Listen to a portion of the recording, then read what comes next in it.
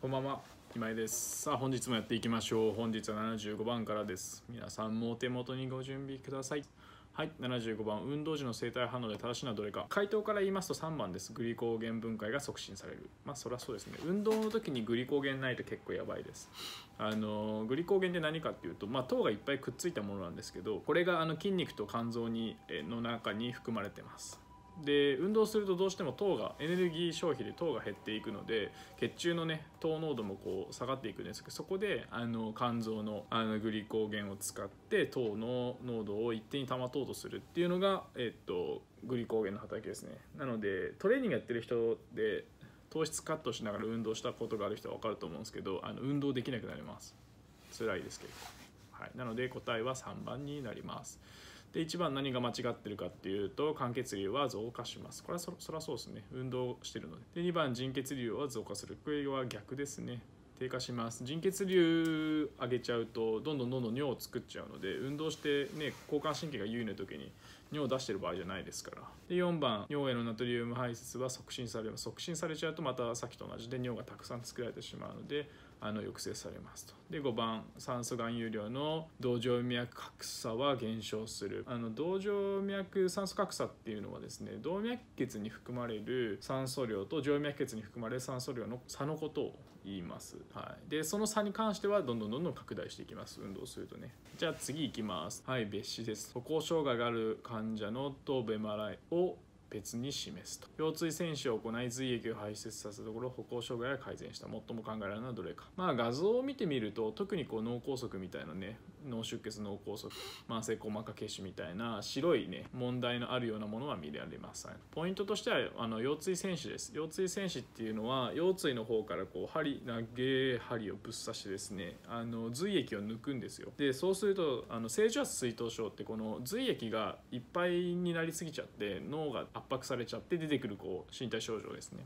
まあ、そのせいで歩行障害があったのであの髄液を抜くことで改善したということですね。ってことはポイントとして、えーと、回答としては2番の正常圧水頭症だったよってことです。まあ、この1345はそういうね所見がないのでそんなことはないっていうのとあとこの治療は行わないですね。77番ですね。熱傷についての話なのか。まあ、回答から言うと5番です。鼻咽頭腔にすすが見られた時は気道熱傷が疑われる。まあそりゃそうですよね。あの吸い込んでるってことですかじゃあ一番何が間違いかっていうとあの表皮までの熱傷だと。表皮まであの熱傷すると発石とか熱感っていうとか軽度の主張。まあ皆さんもねあると思います。水ぶくれができますよね。なのでこれは違いますよってことです。はい。2番。先達性第2度熱傷では反根を残す、まあ、反根は再生するのが特徴なので反根を残すのはあの震度第2度以上ですね。震度です。これ鮮度なので。先達性なのでね。新達性の第2度以上の場合反根を残すことがあります。というところでこれは×で3番炊飯亭っていうのがありますね。これ炊飯亭っていうのは白色もしくは破壊になるのが特徴的だそうです。で発石しているのはあの先達性こっちの方の第2度の熱傷の場合を言うそうでこれはもう捨て問題ですね。4番第3度熱傷で疼痛が著名である。第3度の場合は熱あの疼痛がありませんよと。じゃあ78番いきましょう。78番非ステロイド性抗炎症薬の副作用と正しいのはどれか。うん、これはあの1番です。よく言われますこれはね。この薬使ってる患者さんって結構リハビリでも多く見ますのであの胃の痛みを訴える人いると思うんですけどこれはよく出てくると思うのであの覚えておくといいと思います。で他の作用っていうのは何かっていうとこれ非ステロイド性なのでこれね他はねステロイドです。ステロイド系だったら結構問題としては出やすいかもしれないのでステロイドがどういうものなのかっていうのはあのちょっと調べといてください。でこれ以外にこのステロイド非ステロイド性のあの副作用として何があるかっていうと、まあ、基本的にはあの消化器症状っていうのがあります。腹痛とか吐き気とかね。あとは喘息発作とか腎機能障害が出たりします。はい。じゃあ79番欲求を満たせない時に正反対の欲求を発展させ心的平衡を保とうとする防衛規制はどれか。心理系の問題特にそうなんですけど問題文読むとなんとなくその問題文に書かれていることと同じような漢字の意味を作ってるのがあったりします。これ回答としては5番なんですけど正反対の欲求ってところを考えると、まあ、反動してるっていうふうに捉えることができますできますね、まあ、正反対なので何かあってその反対側にまた何かというところで、まあ、正反対の欲求を発動させて心的平衡を保とうとするものは反動形成と言われています。で1番って抑圧は何かというとあの容認しがたい自分の欲求とかを無意識のうちに押さえつけてしまうことを言います。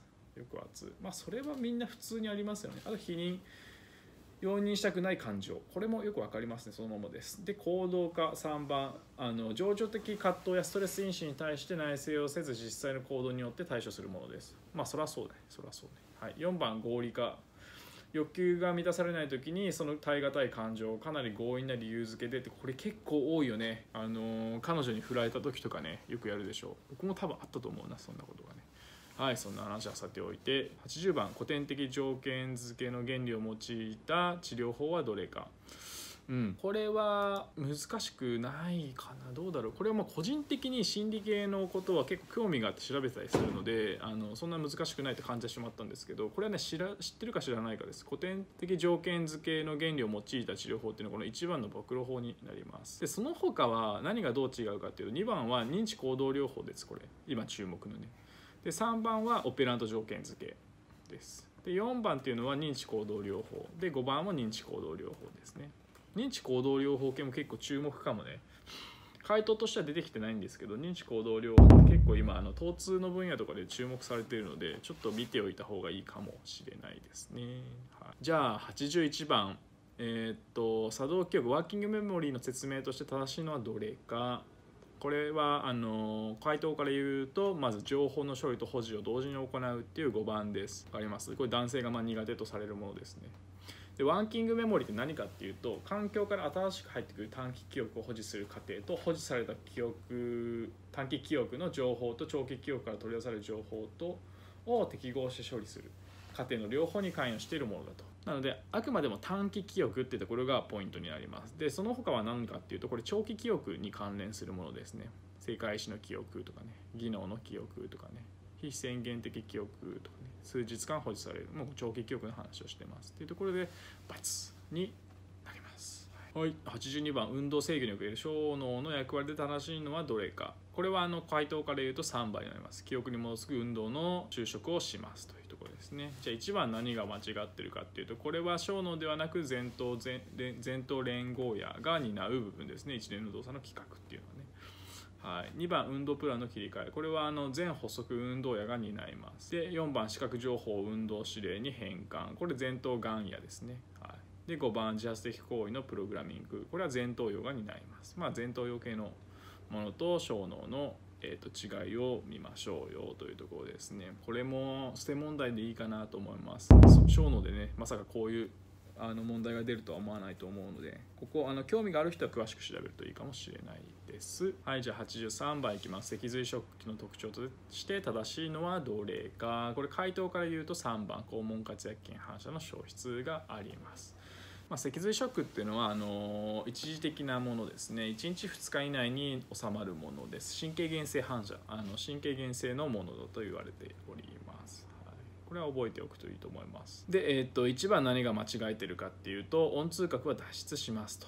2番形成四肢麻痺。あの弛緩性の麻痺ですね。脊髄ショックの特徴として。まあこれは麻痺もそうですよね、はい、でこれ4と5番っていうのは脊髄ショックっていうのは基本的には反射があの消失しますのでここはあの更新などしません。これはあの脊髄ショックじゃなくて脳梗塞とかでもねよくあります。脳出血とかでも最初はあの弛緩性麻痺を伴いますよね。あれはショック期の状態です。全く機能しない状態なので更新もせず何も起こらない状態です。っていうのをよく覚えておいてください。ということで今日は83番まで終わりました。次回は84番での解説からしたいと思います。では今日は以上になります。では。